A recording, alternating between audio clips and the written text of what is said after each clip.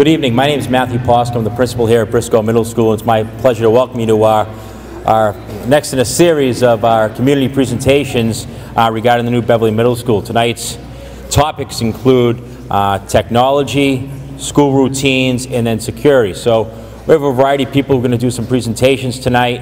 Um, and then at the conclusion of kind of each section, breaking it into the thirds, the conclusion of each section, there will be some time uh, to answer some of the questions you may have regarding that portion of the presentation. So I really appreciate you guys coming out tonight on a, on a night. Dr. Hershey made it easy for us by canceling school tomorrow, so we can go all night if we have to to make this work. Uh, Dr. Hershey does want to also welcome you, so I'd like to ask Dr. Hershey to come and speak to you for a moment. Good evening. As Matt said, um, we're going to kind of split this up into three topics. They're all very large, um, and we realize that, um, but we want to go through this. Additionally, BevCam, thank BevCam, they're actually filming this this evening, so we will be able to make sure that that is actually streamed out to people. Um, also, the presentation will be up on the website tomorrow as long as I have power. Um, you never know. Uh, what we're going to try and do is focus first on technology. Um, some discussion about we're going to have one-to-one access. That has been our goal for this building. Uh, second is what grade 5 and 6 would look like in grade 7 and 8. Next is routines, pick up and drop off um, for both busing and parents. This site has been thought out very carefully from the standpoint of how we're splitting that out movement in the building, and also transportation. I apologize already, transportation is going to be very short because Bill Burke is retiring at the end of the month and we have a new person coming on and I didn't think somebody who'd been doing this for two weeks should necessarily be coming here to talk about transportation. And then finally security, uh, design elements that address security um, as we built this building and as this was thought out from the standpoint of design.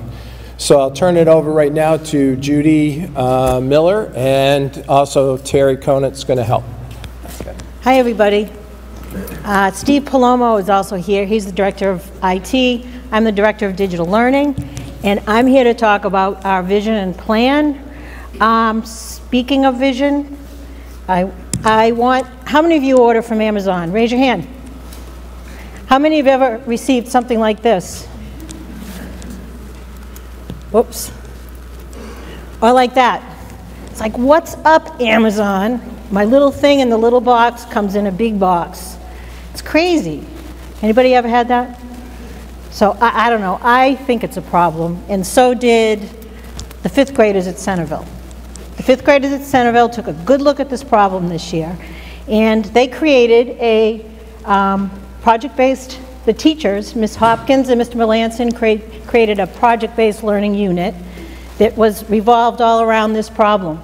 Basically, the kids are asking, isn't there a better way for Amazon to package their stuff? And what's the problem? Why should they change? I was in there, the kids were brainstorming. They said, obviously, waste of cardboard, waste of energy, bigger boxes, bigger trucks to cart all this stuff around. It's a waste of money.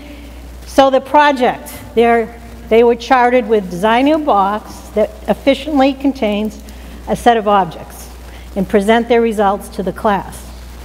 Oh, and by the way, it was also a math lesson. That was a big secret. So, first of all, they got some objects, and they had to kind of mess around the objects and decide how big the box needed to be.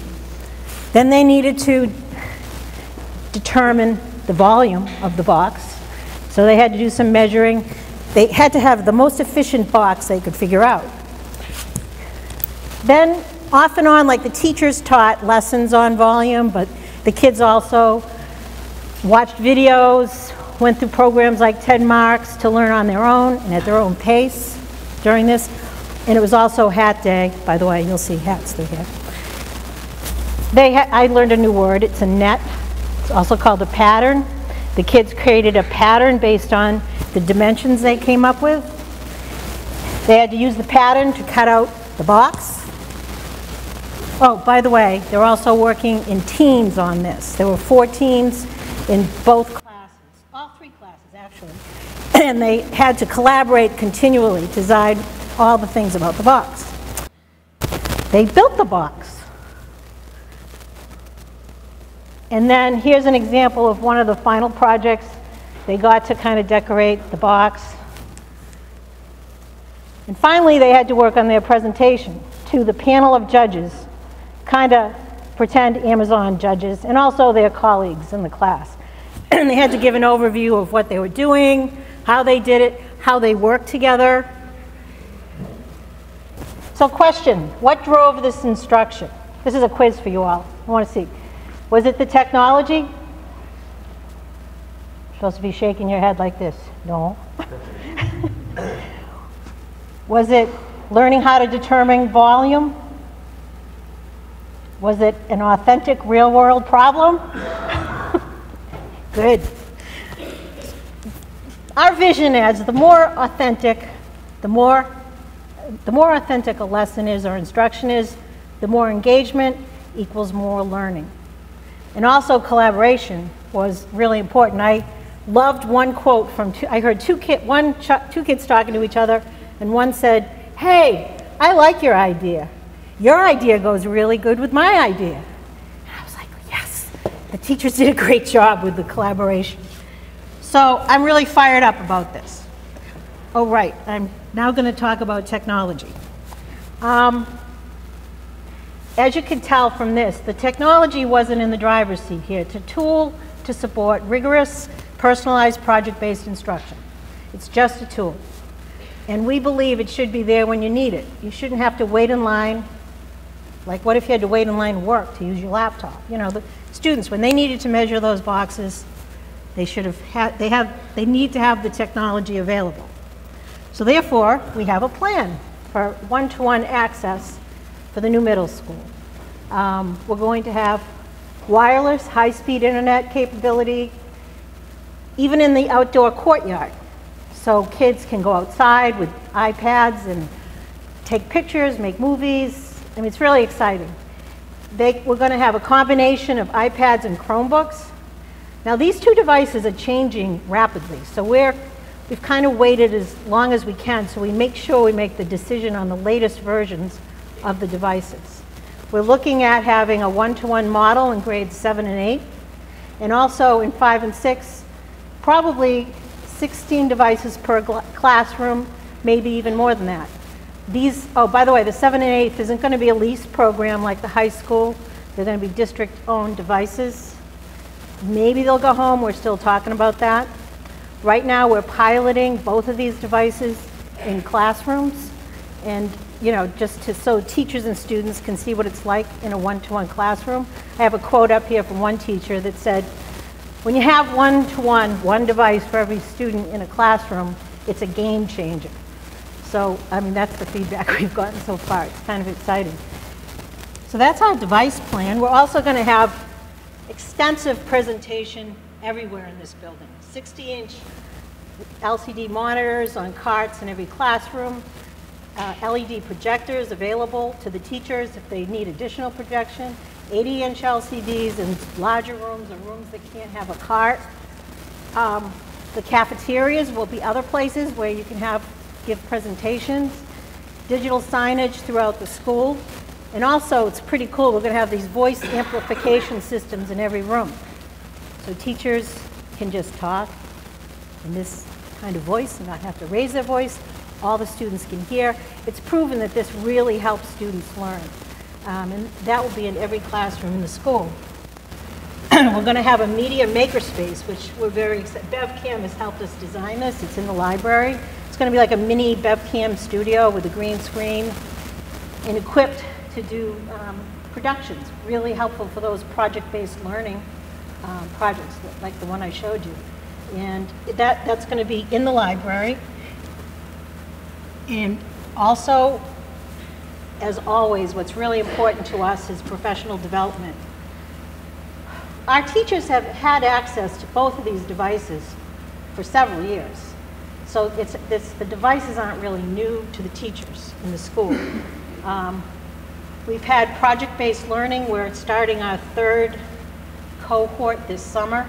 And I showed you a project earlier that was a fifth grade project lasted three weeks, and I took about two minutes to show you. But there's other great, there's some teachers in the room that have, um, at Briscoe, at all grade levels, that have done project, similar projects that are, start with that driving question and engage the students. So we're really working on that. We've been working on it for two years and we're going into our third year for that.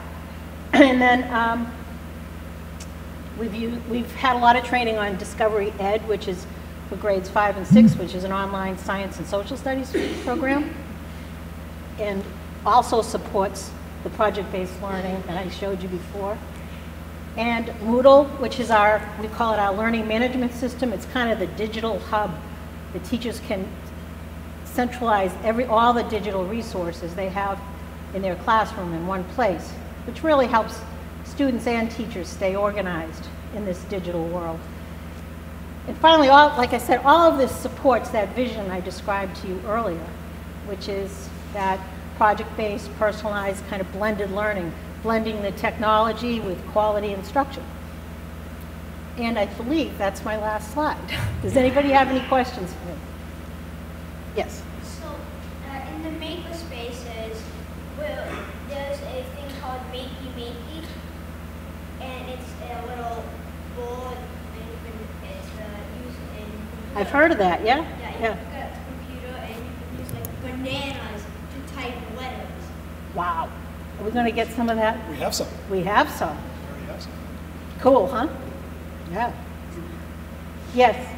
Will there be, in order to supplement or the, the district will also for the devices, can parents purchase devices for their kids to be a part of the Beverly, you know, to get owned by the Beverly system so that they're secure and all that? Um, we haven't talked about that yet, but that's something we'll consider. Some- We'll consider that. Anything else? Any other questions about technology? Okay. Oh.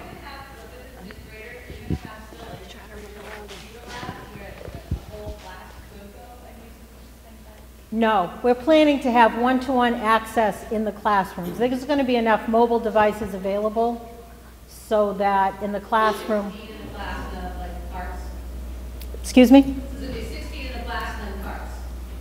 We'll have cars. Yeah, there'll be carts available. Teachers could swap, you know, com- combine the 16 devices. Um, There'll be lots of ways to get that access. Yes? What will the expectation be, um, especially the lower grades, the fifth and sixth, with using technology in school? What's the expectation of them having technology at home available to them? Will they expect to do everything on Google Docs or so that it's transferable? We will have, we are a Google district, like I, I think I might have skipped over that bullet, but we've been doing Google training for several years. Will So, that be with fifth and sixth yes, yeah. Uh-huh. So they all need technology access at home as well? It's helpful. Yes. Any? Okay, who's up next? Matt, thank you, everybody. Next time, we're talking about the routines in the middle school. Um, I think one of the big things is, is we've, we've worked and we've had a plan developed with the, with the city, and we have a traffic expert who's coming in and work with us, talking about uh, parent and, bus and parent drop-off, okay? We're gonna have different entrances in, in, in egresses for parents and cars. During the course of the day, we'll have uh, parts of that area will be gated off. Uh, Be parking, uh, separate parking areas, uh, both in the front of the building and the back of the building for staff. And We're trying to create some solid traffic flow onto Balch and Cabot as we enter into this new, this new building. If you work with me, this will be a uh, plan for the morning drop-off. We have Cabot Street right here. The green would be a, a, a parent drop-off in cars, so you have a, a, one-way entrance right here, enters in, uh, into the, um, the- this visitor parking area here. You can drop off for students here, that's the front entrance, right there. And then parents can, uh, one-way exit back onto Cabot Street. Okay? Over here, we have the bus drop-off, so buses will be entering from Cabot, going through this teacher parking lot, going in front of the, um, front of the building, dropping off students here, and they'll be falling forward and then ending their day into the bus lot that is in the back of the building, the bus, uh, where the um, bus transportation department will be housed. Over here on Balch Street, you have parent entrance here as well. So parents can come in, drop off students here in front, and then come back around and exit, the, uh, exit back onto Balch Street. So morning drop-off, this is the plan that we have right now. Again, go quickly, make sure this is Cabot Street. We have a parent drop-off, one-way drop-off here. Students will enter into the front of the building. Then you have a one-way entrance for buses only through the teacher parking lot. They'll be dropped off in this area here. They en- enter into the cafeteria, into the building here. And then they proceed through, um, through the parking lot, then back home to the bus depot here. So this is what we're planning on looking for for um, drop-off in the morning. Afternoon's not going to be much different. Again, we have, we'll start with the car drop-off. You have parent, you can have parent pickup in this area. Again, much like we just talked about for the, uh, for the morning drop-off. Also have parent uh, pickup over here in this area here in the parking lot, back onto Balch. And again, what we'd have here, the only difference is buses will be lined up in this area, okay? Currently, we have buses in the front and the back of the building. We'll have all our buses in a line in this area here. Uh, The gates would be open so that could occur. Students will load onto the buses and then will exit onto Balch Street. So that's the projected plan right now for the, for the drop-offs and the pickups for, um, for the students in the morning with the new middle school. As we get into the building, there's some uh, separation built in as well. You know, there's a distinct front lobby that you're walking into. This is one of the more updated pictures uh, of the building here. This is actually the main office here. What you've done is just walk through the, uh, the, the front doors, you've been buzzed in, and you're in that front lobby to go into the office. What this brings you into is to the main corridor. So this is an example of, of what that would look like. Uh, you have the cafeteria here. That actually, in between these two pillars throughout, is really the main corridor that you're walking down uh, in the main buil- in the main lobby on the first floor and, the, and third floor, in fact, as well. So you can see that separation there. Okay, and again, as we've talked about before, we have grade five on the first floor, grade six on the second floor, grade seven, then grade eight. So there's grade separation built in, and you can see what that flow would look like for students in the course of the day. Each neighborhood, we'll look at another picture in a moment, has their own specific interests. You heard uh, Judy and Terry talk about digital signage all over the building. Right now, that's what that's set up for right now. That's actually for a TV, uh, for that digital signage. And this is a specific entrance down into one of the neighborhoods here. The classrooms for that neighborhood are actually located in the back of the hallway, and you'll see that separation in a moment.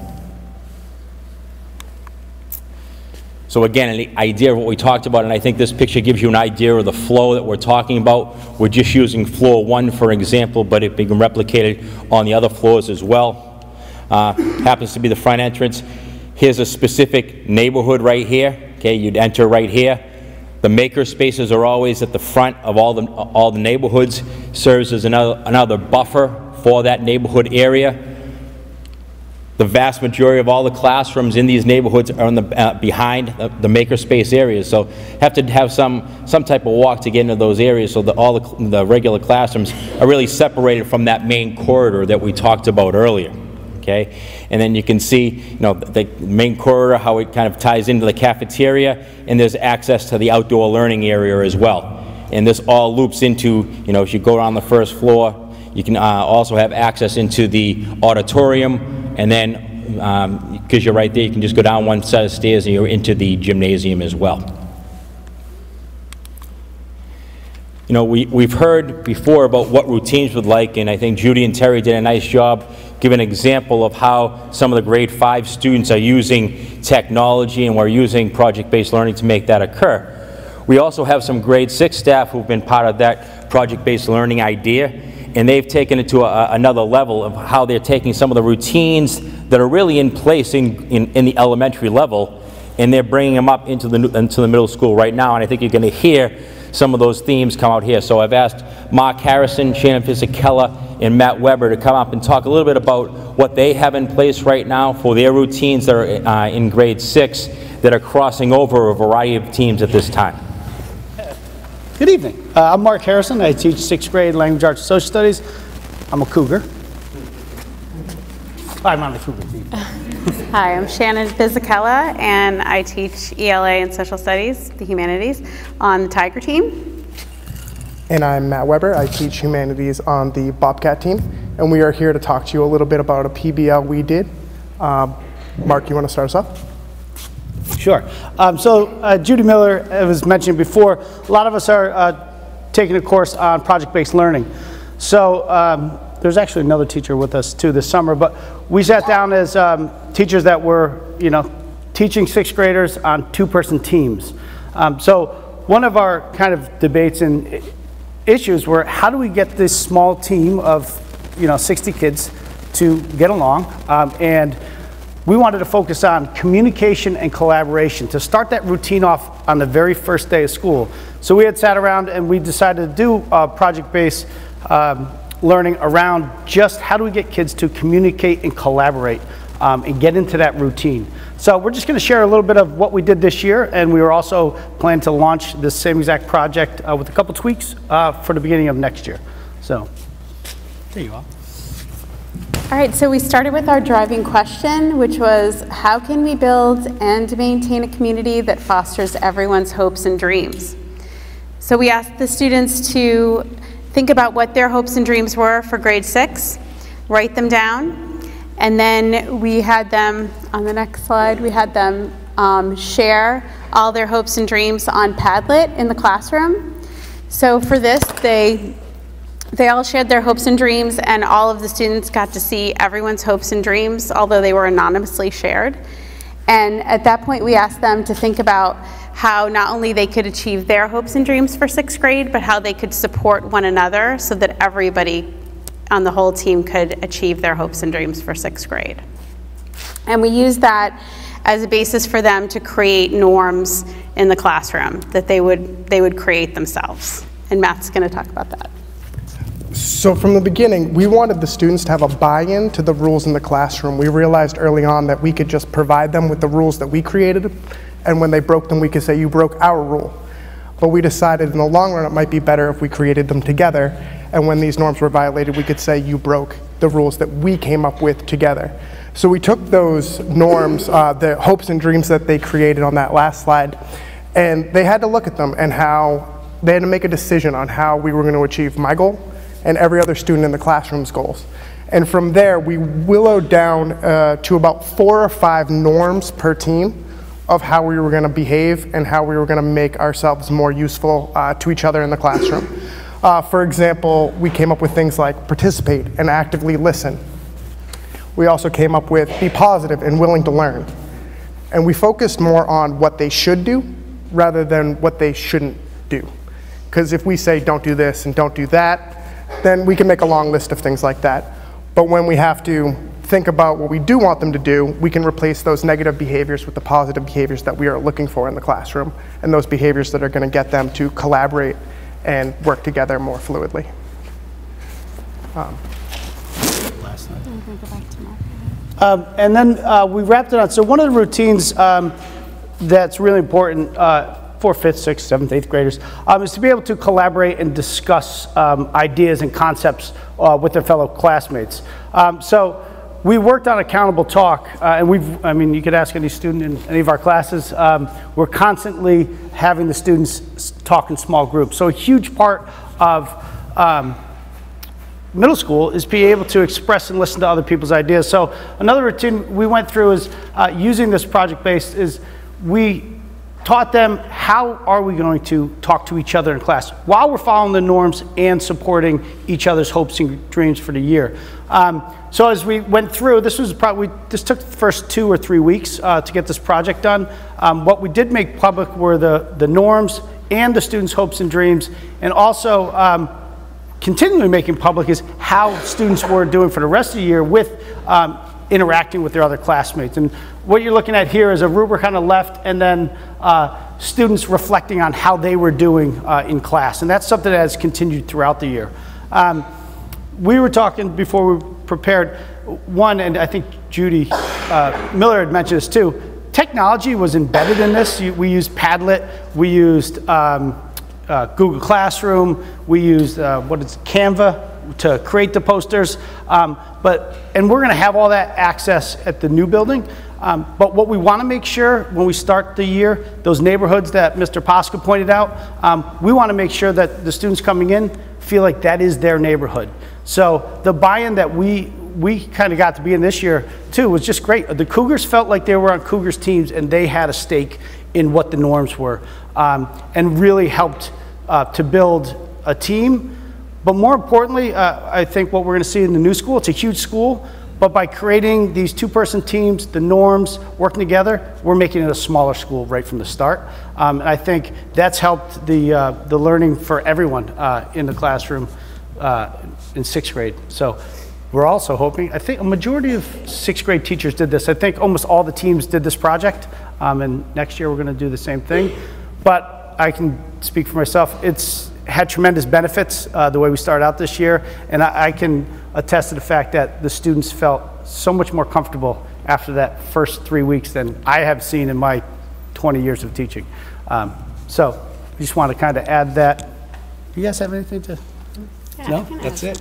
Yeah, take the mic. You Got that? Yeah, I just wanted to add to what Mark said in that I've noticed on my team that, you know, we have, we don't have very many discipline problems because of this too, that it's the, the students really want to work together and support one another beyond just the hopes and dreams, but just establishing that at the beginning, their communication and their ability to, you know, support one another and collaborate was there. And it's also something that we refer to throughout the year, and they know that, like Mar, like Matt had said earlier, that they have that buy-in from the beginning, that they created them on their own, and that's made a big difference that's carried through. And we also revisited them later in the year too and asked them if they wanted to revise their hopes and dreams and kept that alive for them to continue and asked them if they feel like they're still supporting each other's.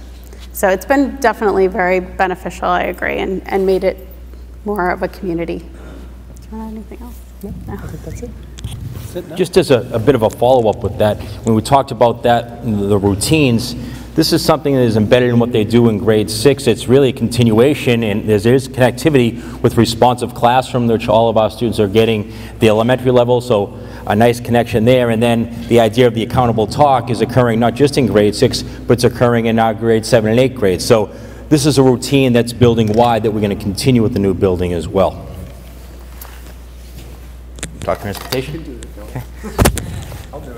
Transportation, as Dr. Hershey said, is going to be, is going to be rather quick. We'll try to briefly go over and get to some questions. Um, Obviously, with the, with the changing landscape of- of where the middle school is located and how we have to, um, you know, accommodate those students in busing, we do plan on adding some additional buses. Right now, it's somewhere between the numbers of two and three. Uh, We continue to monitor that as well. Uh, We're hoping to have some, you know, the plan is to have some designated seating on those buses for the grades to have, to provide some separation, at least starting out early uh, in the year, as we get used to this change and how we get our students to and from uh, school. Uh, There will also be some, you know, some new bus routes based upon uh, the, the the location of the middle school, and that's why um, between Bill Burke and our new transportation director, Dana Cruikshank, they'll be monitoring that and having, getting that information out st- uh, to parents so they can make those plans. One of the things that will still be in place is we still plan on having a late bus uh, at the, at the end of the school day, and that picks our students up about 3:45, 3:50, because it is our goal to have, as we talked about previously, uh, some expansion upon our extracurricular curricular activities that our students can participate in after school. Okay. And I think that brings us to the conclusion, talking about routines and things of that nature. So if there are any questions you may have about that, Ms. Norton's going to be down this aisle here. You can come up to the microphone there.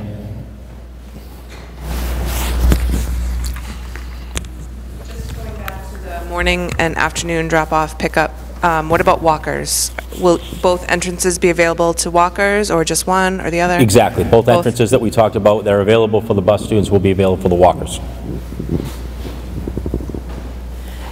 So, um, right now, at- I'm thinking of pickup. There are probably 30 or 40 cars that are parked in front of, next to Briscoe in the side streets. Will there be an area for parents to wait for their students? As we talked about, I'm going to go back to that slide to try to give some type of visual.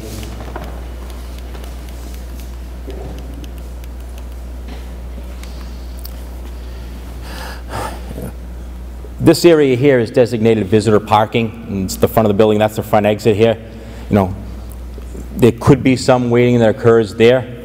Certainly, th- there's a, there's a, a large parking lot here.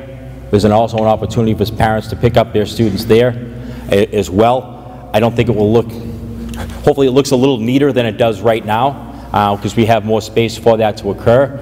Um, This is our first step into developing this plan. We might get into this plan and identify that maybe there's a, a way to make this a little bit better. But this is going to be something that we monitor over the course of the first month to make sure it is safe and it is, traffic is flowing very clearly. The only good thing I can say about Briscoe right now is that, you know, if you've been here, you can see it, it is kind of busy. There's a lot of, uh, of, of cars here. You know, probably starts about 10 of 3, 5 of 3. But I can honestly say by about 3:10, 3:15, it does clear out. So where there is some method to the madness that occurs with the, with the pickup here, and we're hoping that with the additional space that that will occur here as well.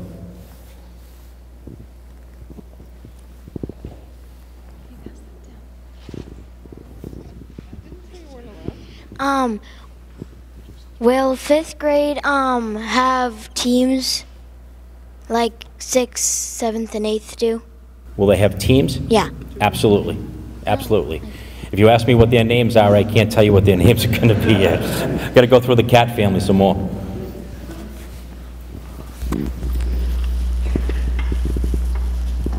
How far from the school do students need to be to be eligible for busing? Two miles? Two miles, Two miles? two miles. And so within two miles, is there no busing, or is there busing but you can pay a fee to get it? Out of my realm. So it's actually part of a larger discussion we're having around transportation. Uh, Right now, it's two miles and out. There are some within that, but it depends on where people live, uh, and it may have more to do with uh, whether the roads are walkable or not. Thanks.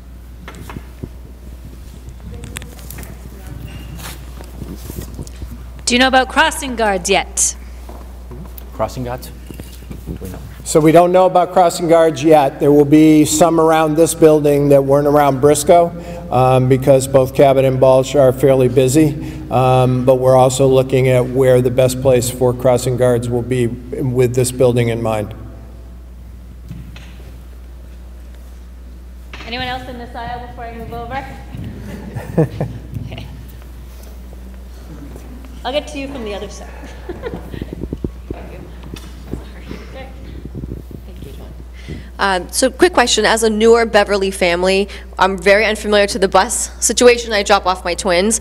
Will we find out more about where the bus drops off and picks up in our neighborhood and the times of dismissal and things like that as the months Yeah, go you- by? You will actually get notified of where the- your bus uh, stop actually is um, and when to register for the busing.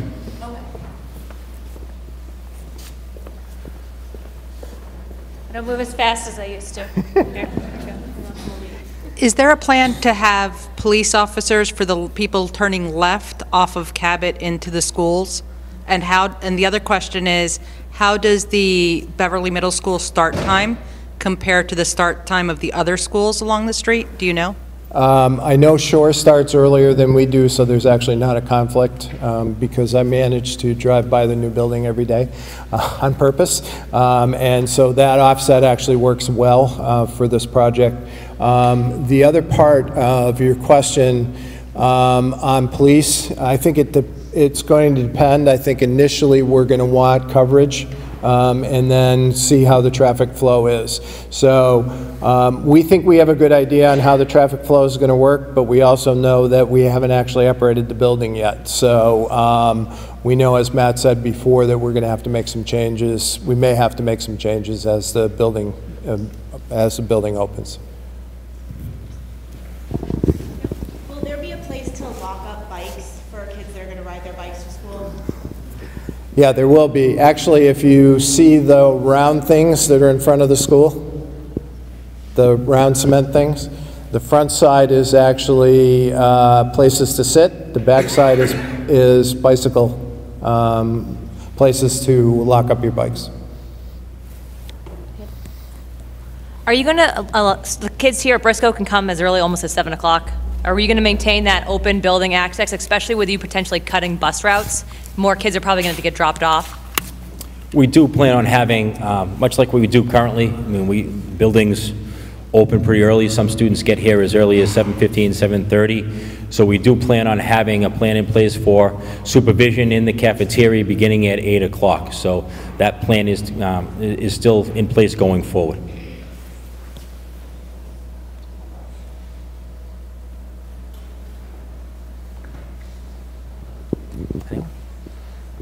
Anyone else? I think we're all set, Ms. Okay. Moore. Sounds good.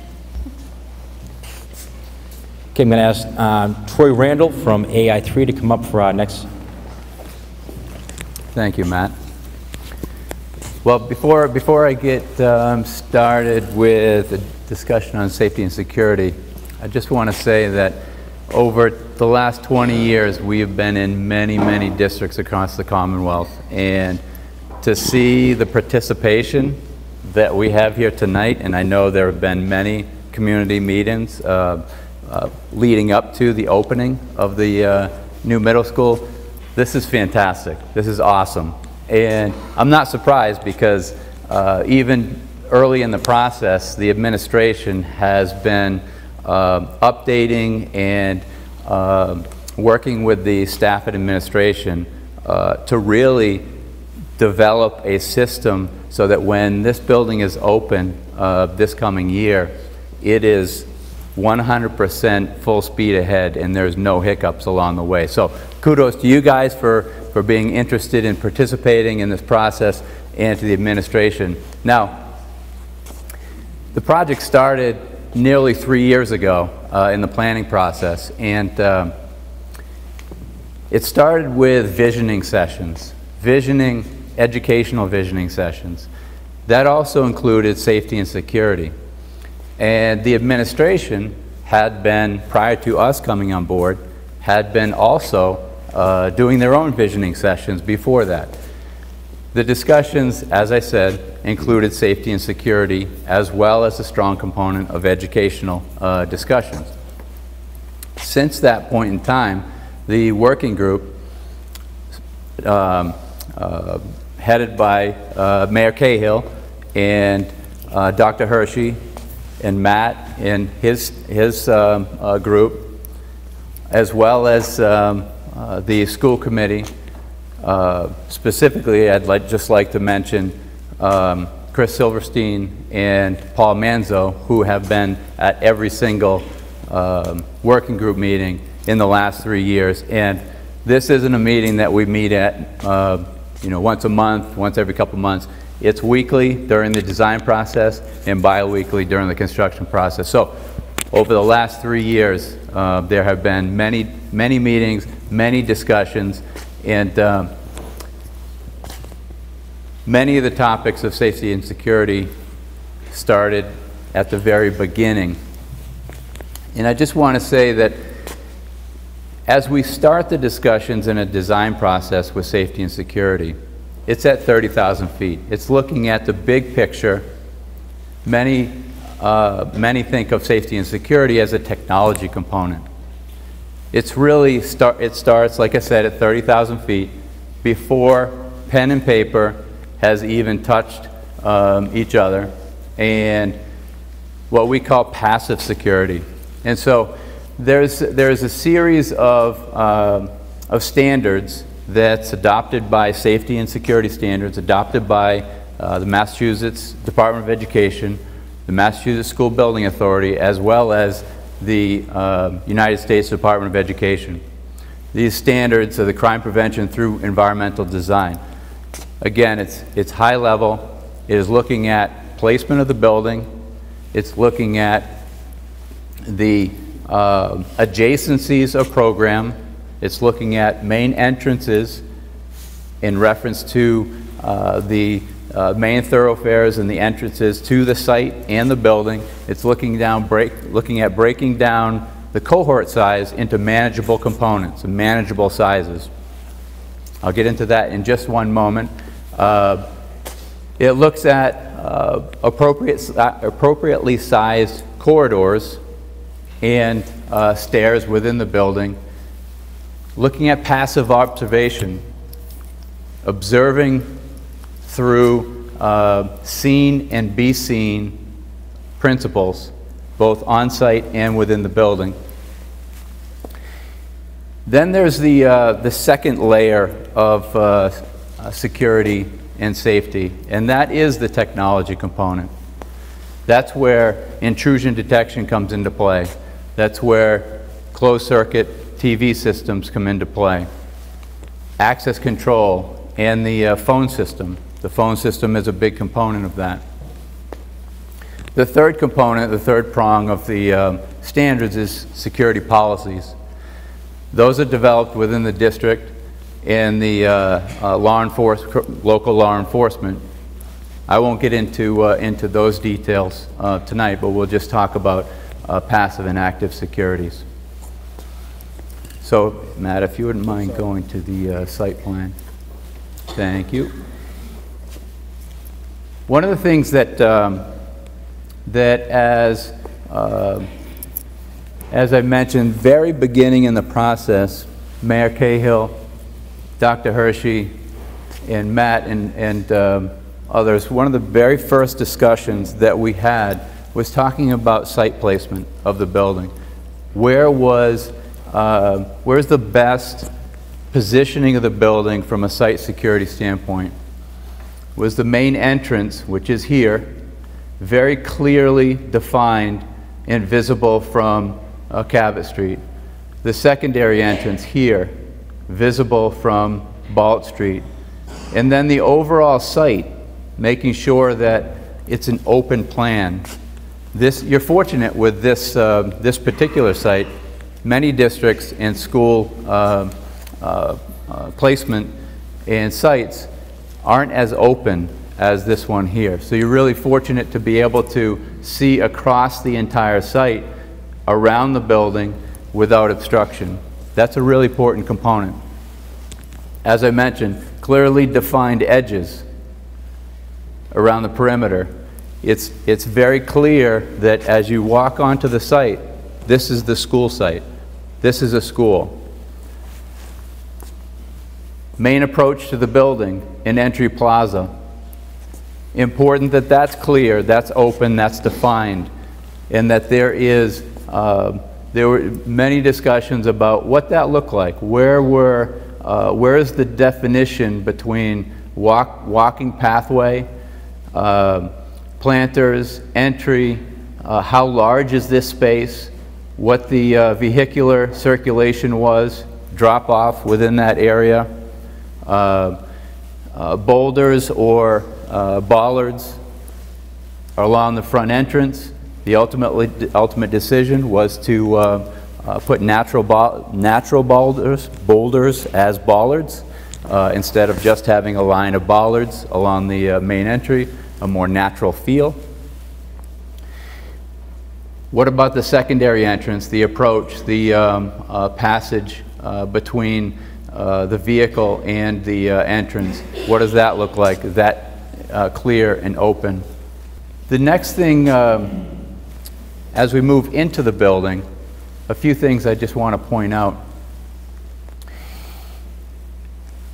As the working group talked about and discussed the potential options for uh, adjacencies and program location, one of the primary, uh, primary, primary objectives, as uh, Mr. Poska outlined with the organization of the building, is a very simplistic plan organization, clear sight lines, easy access and, and uh, movement of students, and also breaking down the cohort size to manageable sizes, which educationally is very beneficial, but it also has a, um, a benefit to security.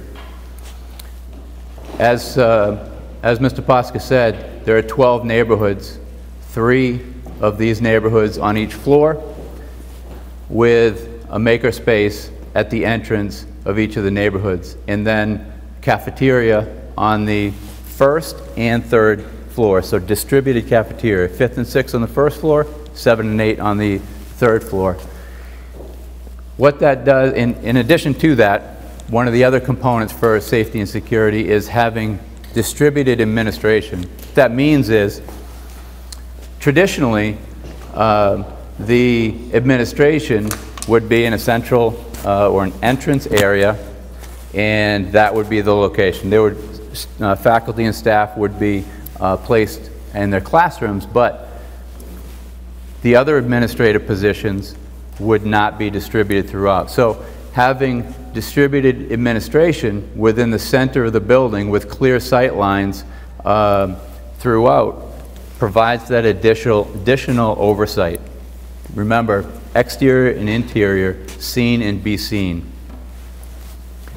The cafeteria, traditionally, as I mentioned, uh, in, in this uh, particular scheme, the decision was both educationally and, and from a security perspective was to have it distributed on first and third floor. Traditionally, it would, all of the students would be uh, placed into one, uh, one space, one cafeteria space. The, um, the next component, as I mentioned, oh, one, two, two other things. Um, one is the, the um, technology and the integration of technology, the active security. The active security is, um, uh, has, has several components to it. First is the automatic um, uh, entry system in the accessible entry system, which is, uh, you probably have seen it in the other schools, uh, where the, the front doors are locked and you need to provide visual and physical access uh, into the space, into the building. The control point here in the admin uh, is just that. It provides the uh, control, the visual, both visual, direct visual access to the exterior and to the entranceway, and also through the technology, through the camera, visual access through the camera. In order to get in the building, the second component is with intrusion detection. Now, intrusion detection is a safety feature that uh, is a motion detector, detector within every single space within the first floor. It's, on, it's uh, connected to the windows, has a motion detector in the space, uh, detection of exterior doors. This signals movement and also signals an a audible alarm, but also uh, an event in uh, digital uh, technology uh, transfer to whoever is, um, is scheduled to receive it. The next component is the CCTV, the closed circuit uh, TV system. This building, a lot of discussion about CCTV, both with the working group as well as um, uh, the technology group and the local uh, law enforcement with placement of cameras, quantity of cameras, as well as um, future expansion. So this building, both interior and exterior, will have over 200 cameras um, in the building when it's complete, and then that can be expanded by almost another 100 cameras uh, if necessary. Uh, we, talked, we talked a lot about the uh, uh command center, control point uh, within the building, second floor, replication of the first floor, distributed uh, administration. As we continue just one, one final note is we've talked about a lot of topics, um, discussed a lot of topics in the working group meetings, uh, from door hardware to glass and glazing uh, between classroom and corridor, uh, about positioning of uh, entryways to classrooms, uh, the positioning of transparency to classrooms, uh, clear sight lines. The discussions continue to happen. We have been, as even as um, recently as, as um, uh, last week, we were talking about uh, implementing and looking at other strategies. So the, the conversation that we have had uh, over the last three years has continued um, and will continue uh, even after the, uh, the building is open. So uh, the working group led by um, uh, Mayor Cahill is, um, uh, is on task and has been for a very long time, and um, the continued discussion um, will occur. Thank you very much. Um, Just real quick, uh, one of the things that, that Troy just struggled with a little bit is that the detail of security in the building, uh, we can't talk about. Um, So the nice part is to, if you think about over 200 cameras, kind of assume they're everywhere. Um, But when we have an opportunity to talk about those things, we have to make sure that we know that our audience could contain someone that we have to worry about. Um, So it's important that we don't provide as much detail as you might want as parents. Uh, Training for staff and students, not only do we need to do ALICE training, but as soon as we get in that building, we've got to train the staff and the kids on an entirely new building. Um, And that progress is what we're working on now to make sure that um, we have exactly where the signage needs to be, exactly where the students need to figure out um, how to exit the building, where the exits are, uh, what's the best way to do that. So all of that training also is going to have to go on as we move into the building. All of the systems, uh, the staff will be trained on this summer. Um, That's part of taking over the building. Um, So there will be a lot of activity as we open this, this building next year around getting used to the new building. Um, And then finally, there's a lot of embedded safety features in the building, um, and there's a lot of work that we've done around that. Um, One of the key pieces, and having been a principal, um, I think one of the nice parts about this building is being able to see out um, and being able to see uh, if there's anything, any activity that we need to worry about. And that's a big difference. Um, It's hard for us to translate that to you until you're actually in the building. Uh, So we can't wait until you're actually in the building and can see the kinds of things that we do. Our problem is that we just can't get you in there until at least July. So um, we are, as Troy said, we're looking at other things now. One of our challenges are the same challenges any school district's going through right now. Um, I get 75 emails a day that has the exact security solution for Beverly, um, and making sure that we go through uh, those solutions that someone else has for us and figure out what's the best thing for Beverly and what's the best thing for the buildings that we're actually operating under. Um, But that's a constant thing that we're working on, and as Troy said, we're still uh, working on the new building uh, right now um, and determining whether there are any things that we want to consider in addition to what we've seen already.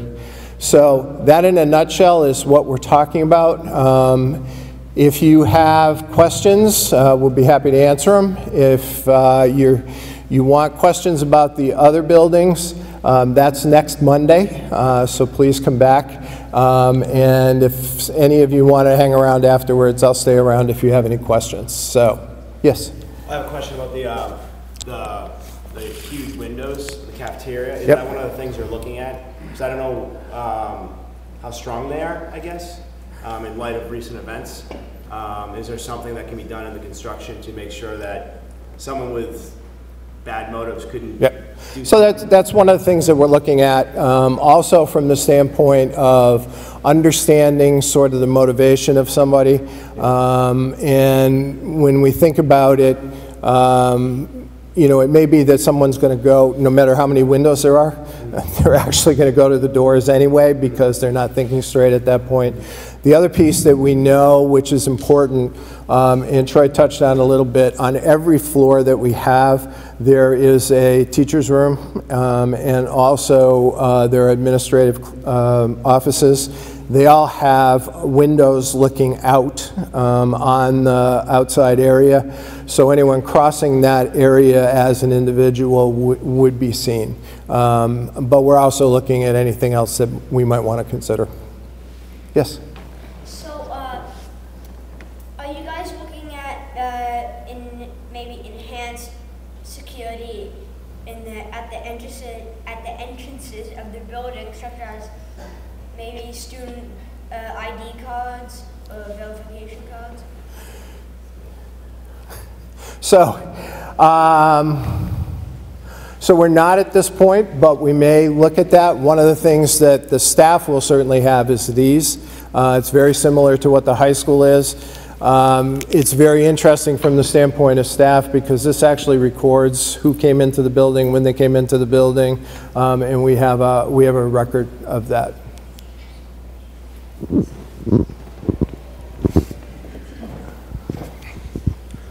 Uh, The gentleman who just spoke, I don't remember his name, um, he mentioned something about glass glazing. At a previous meeting, uh, there was a lot of talk about how exciting and excited it is to have these big, open windows out of every single classroom. Has there been any talk? What is the, the, the strength of that glass? I assume when you use a term like glazing, that's what a nice, fancy technical term uh, for bulletproof. And I'm going to ask straight out: Is there? I mean, my kids come home and talk about sheltering in place and stuff like that. So if we're going to keep them in classrooms, if there's someone in the building, is that glass going to be able to stop them? So we're looking at some options. I wouldn't say it's, I wouldn't say it's bulletproof glass, um, because that's actually five inches thick, uh, as I understand it. Um, But we are looking at whether or not we want to uh, provide some enhancements to it. Um, One of the key pieces is the majority of the students are going to be at the back end of the building in those academic areas. So one of the things that, um, when we look at it uh, from a security standpoint, is that building can actually be evacuated out the back very easily if someone was to come in the front, um, and vice versa. So if somebody was to come in the back, we could evacuate the building pretty easily, which is part of the ALICE training that the kids and the staff are going through. So you, you, you keep saying we're looking at. When will we have some definitive answers? Um, That's something that, uh, that uh, that has a team looking at it, not me alone. Fair enough. I just, you know, I, I canceled plans and took work off to be here tonight, and we got a lot of vague generalities, and it's scary, and I'd like some answers.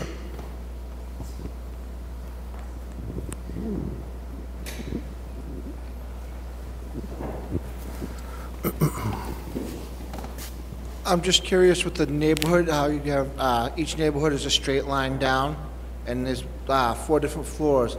Say someone was in the far right neighborhood on the second floor, would there be a way to shut down all the other neighborhoods so that during a uh, shelter in place, this way, no one can get down into those neighborhoods should there be someone that isn't supposed to be in the building, in the building to protect the students?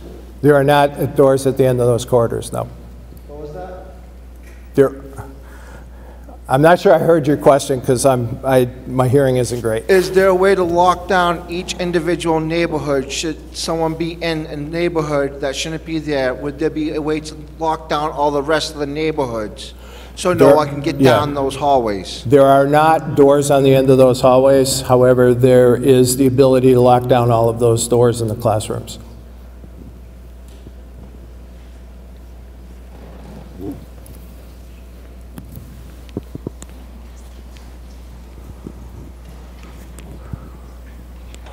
You guys have talked a lot about visibility of the students.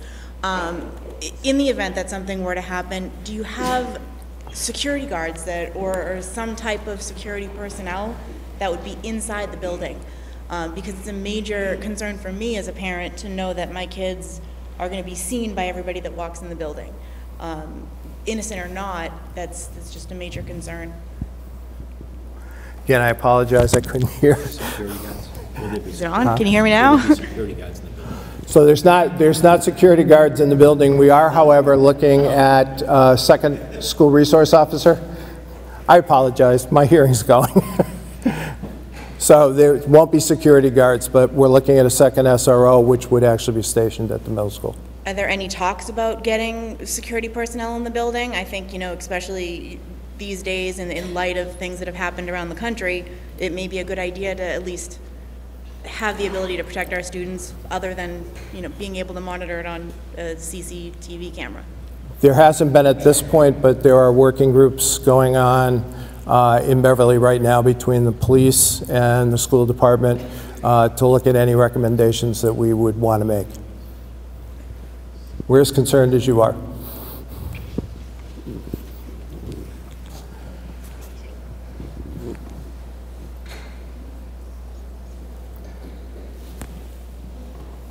Any last words, Matt? I'm just curious what the difference is between a security guard and a school resource officer as far as their capabilities. So school resource officer is a Beverly police officer, and that goes through the school resource officer training. So it's trained to work with kids. Um, so we get a lot of extras out of the school resource officer. So it's not just security, it's working with kids and getting to know kids well.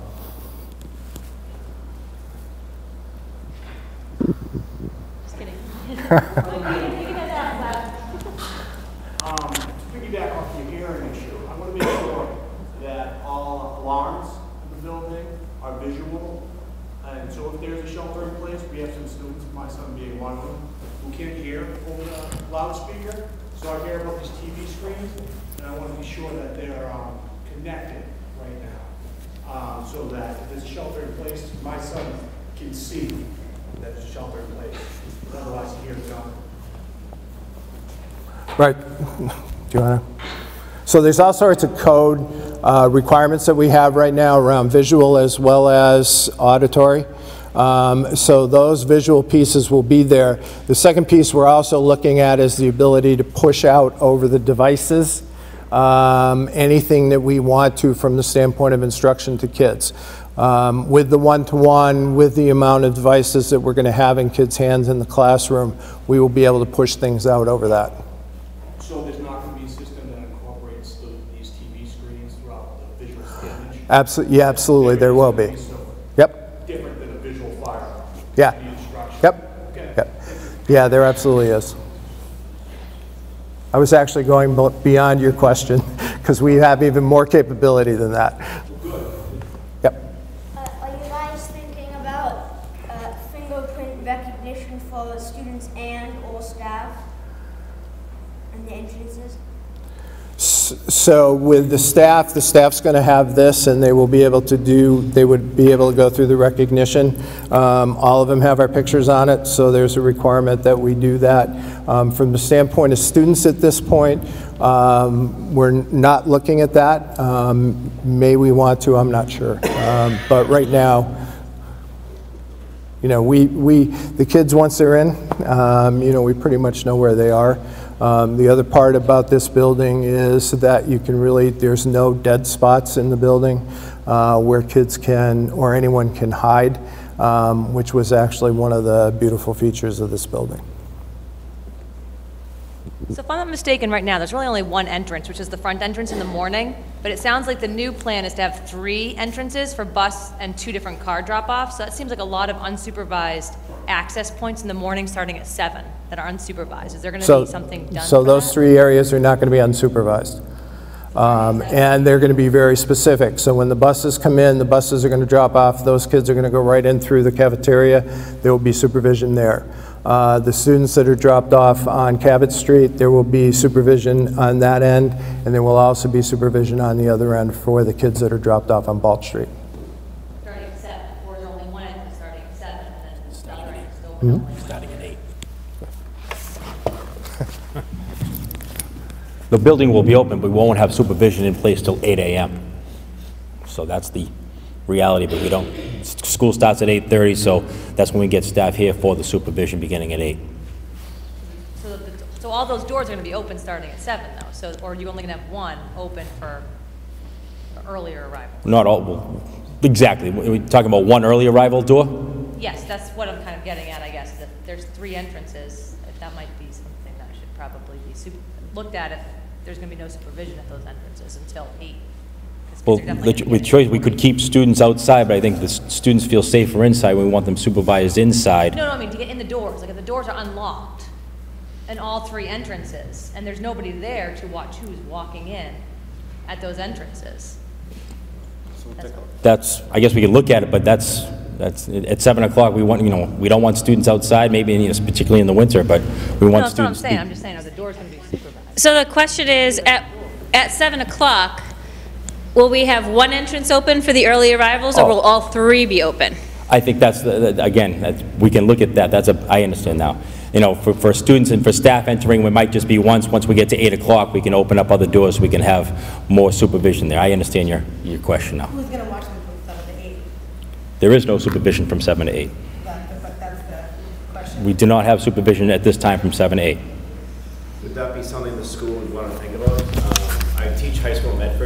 they've started putting someone at the door at 6:30. As There's kids coming in, there's, it's a staff member, but just to make sure that there's a adult presence there. So what we're, ta- what, I mean, as we talking about getting increased supervision starting at 8 o'clock, you know, how, how much further, earlier can we go? It's trying to find that staff available to get there that early. That's why we feel comfortable getting staff there at 8. As we get earlier, that becomes a challenge.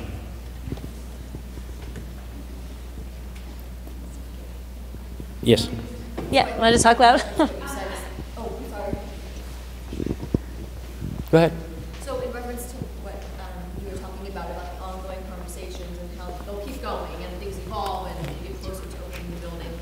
And this is maybe a tough statement, but just given what has happened, you know, shootings and, and what, is there a conversation about what have we learned?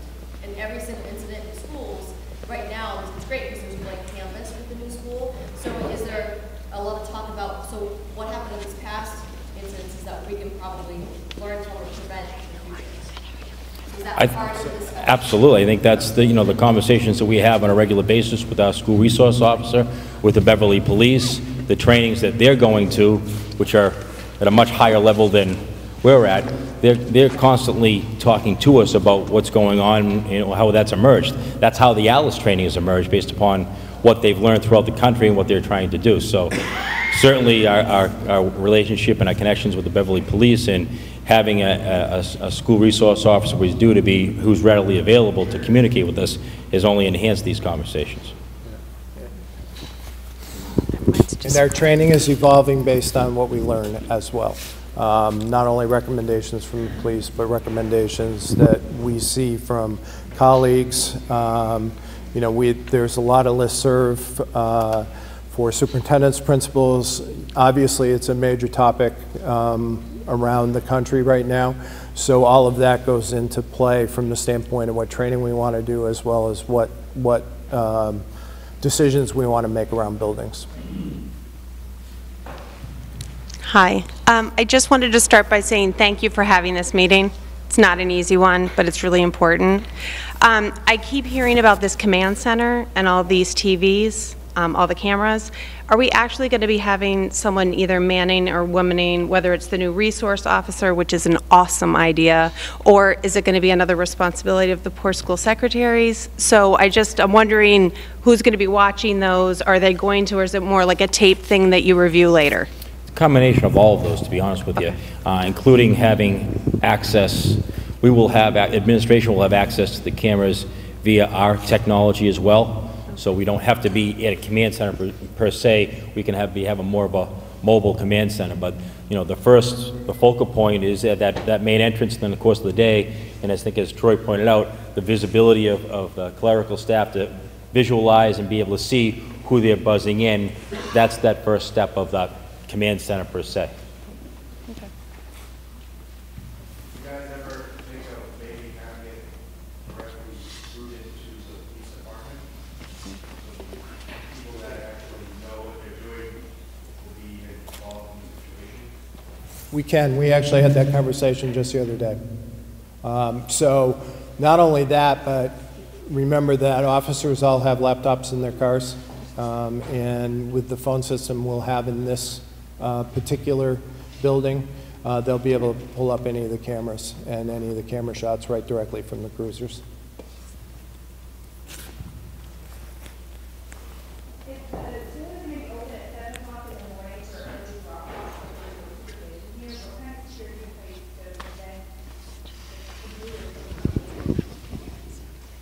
It's just the, the main office as we're in right now. I mean, I think that's the conversation that woman up back said, what it will look like for early drop-off. We have to let staff in. Does it become that we just let staff in through the use of a buzz car or something like that? That might be the access card.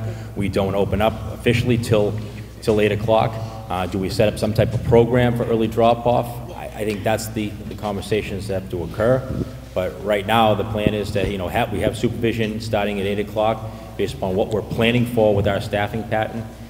Going forward, how we have accessibility in the building prior to that is something we'll have to look at.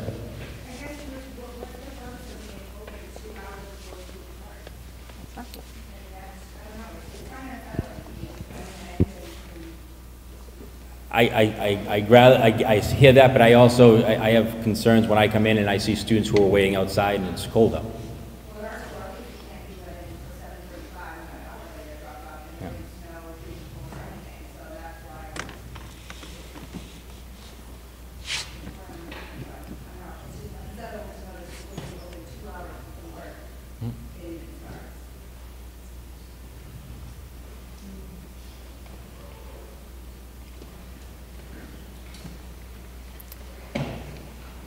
As Dr. Hiersche said, we'll wait around. If you have any other individual questions, be happy to stay up here this evening and, and talk to you some more. Thank you so much for coming out this evening. I appreciate it.